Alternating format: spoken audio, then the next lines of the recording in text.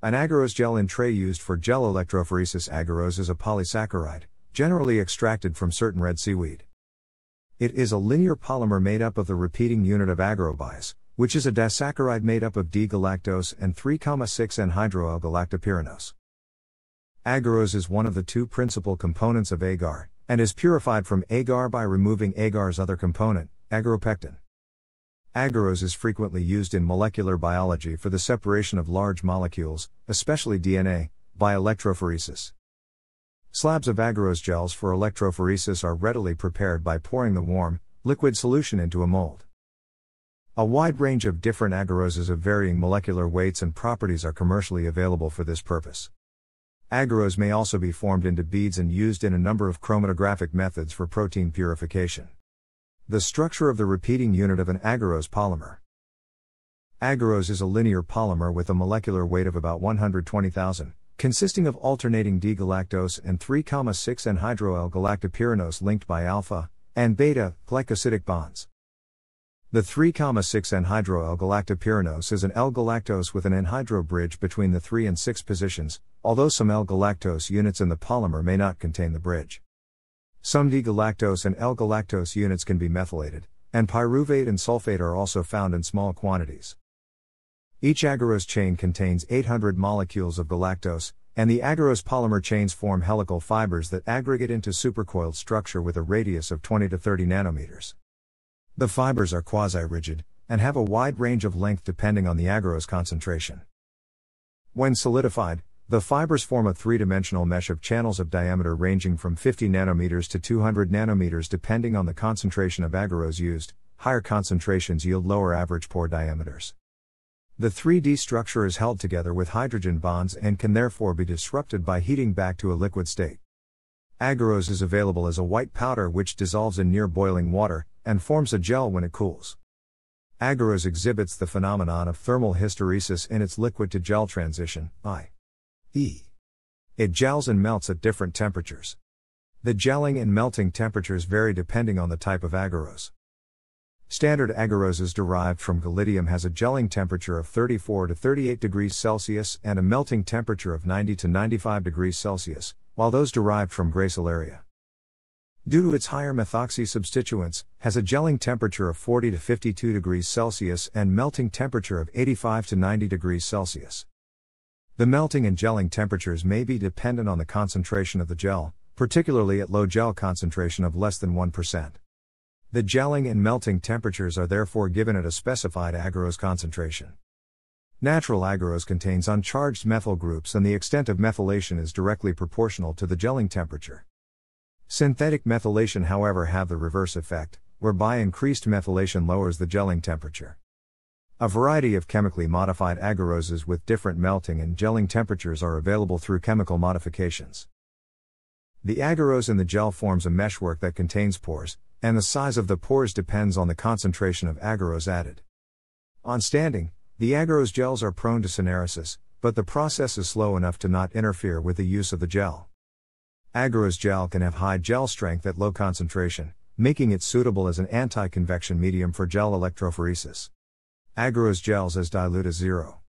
15% can form slabs for gel electrophoresis. The agarose polymer contains charged groups, in particular pyruvate and sulfate. These negatively charged groups can slow down the movement of DNA molecules in a process called electroendosmosis, and low EEO agarose is therefore generally preferred for use in agarose gel electrophoresis of nucleic acids.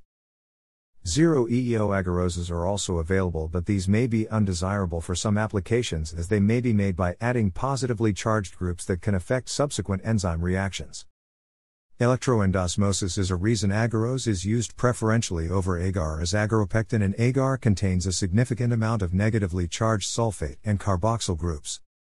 The removal of agaropectin in agarose substantially reduces the EEO, as well as reducing the nonspecific adsorption of biomolecules to the gel matrix.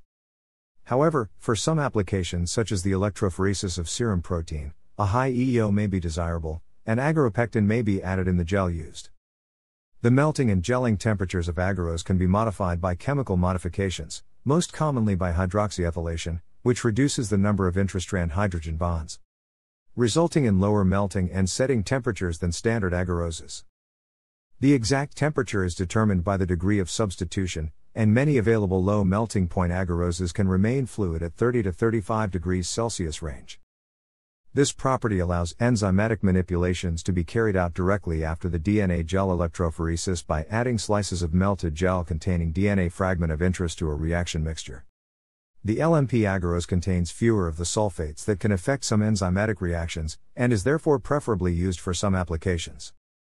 Hydroxyethylation may reduce the pore size by reducing the packing density of the agarose bundles, therefore, LMP gel can also have an effect on the time and separation during electrophoresis. Ultra-low melting or gelling temperature agaroses may gel only at 8 to 15 degrees Celsius. An agarose gel with bands of DNA stained with ethidium bromide and visualized under UV light on a UV transilluminator. Agarose is a preferred matrix for work with proteins and nucleic acids as it has a broad range of physical, chemical, and thermal stability, and its lower degree of chemical complexity also makes it less likely to interact with biomolecules. Agarose is most commonly used as the medium for analytical scale electrophoretic separation in agarose gel electrophoresis. Gels made from purified agarose have a relatively large pore size, making them useful for separation of large molecules, such as proteins and protein complexes 200 kilodaltons, as well as DNA fragments 100 base pairs. Agarose is also used widely for a number of other applications, for example immunodiffusion and immunoelectrophoresis, as the agarose fibers functions as an anchor for immunocomplexes.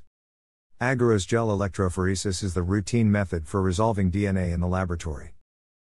Agarose gels have lower resolving power for DNA than acrylamide gels, but they have greater range of separation, and are therefore usually used for DNA fragments with lengths of 50 to 20. 000 BP, although resolution of over 6 megabits is possible with pulsed field gel electrophoresis. It can also be used to separate large protein molecules, and it is the preferred matrix for the gel electrophoresis of particles with effective radii larger than 5 to 10 nanometers. The pore size of the gel affects the size of the DNA that can be sieved. The lower the concentration of the gel, the larger the pore size, and the larger the DNA that can be sieved. However, low concentration gels are fragile and therefore hard to handle, and the electrophoresis of large DNA molecules can take several days. The limit of resolution for standard agarose gel electrophoresis is around 750 kilobits. This limit can be overcome by PFGE, where alternating orthogonal electric fields are applied to the gel.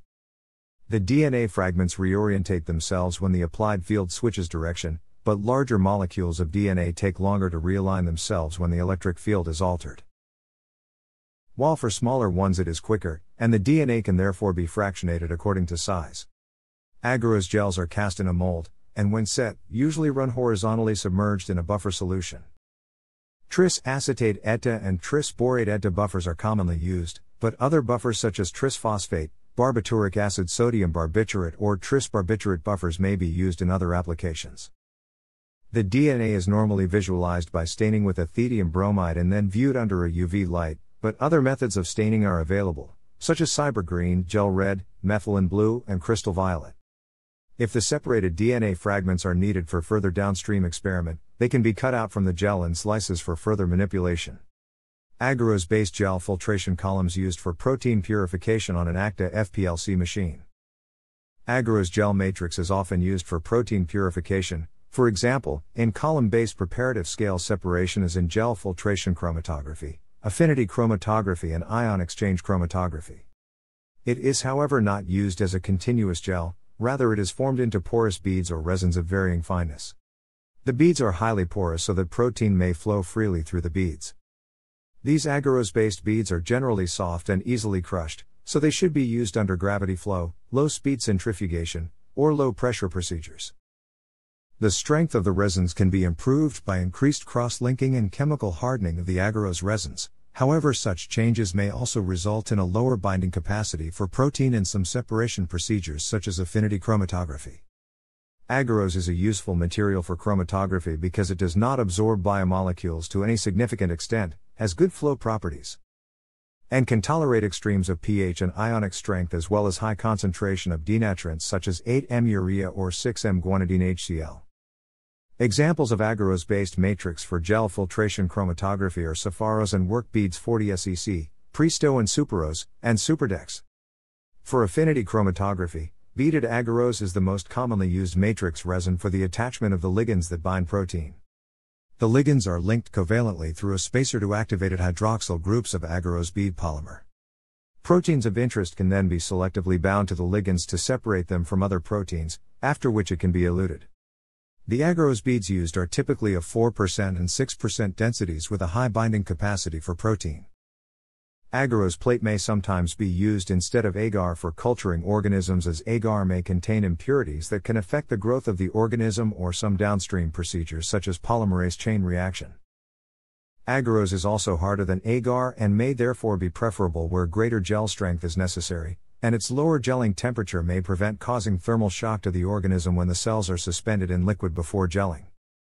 It may be used for the culture of strict autotrophic bacteria, plant protoplast, Caenorhabditis elegans, other organisms in various cell lines.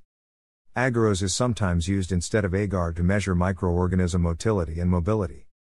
Mobile species will be able to migrate, albeit slowly, throughout the porous gel and infiltration rates can then be visualized. The gel's porosity is directly related to the concentration of agar or agarose in the medium, so different concentration gels may be used to assess a cell's swimming, swarming, gliding, and twitching motility. Under agarose cell migration assay may be used to measure chemotaxis and chemokinesis. A layer of agarose gel is placed between a cell population and a chemoattractant. As a concentration gradient develops from the diffusion of the chemoattractant into the gel, various cell populations requiring different stimulation. Levels to migrate can then be visualized over time using microphotography as they tunnel upward through the gel against gravity along the gradient. Thanks for watching.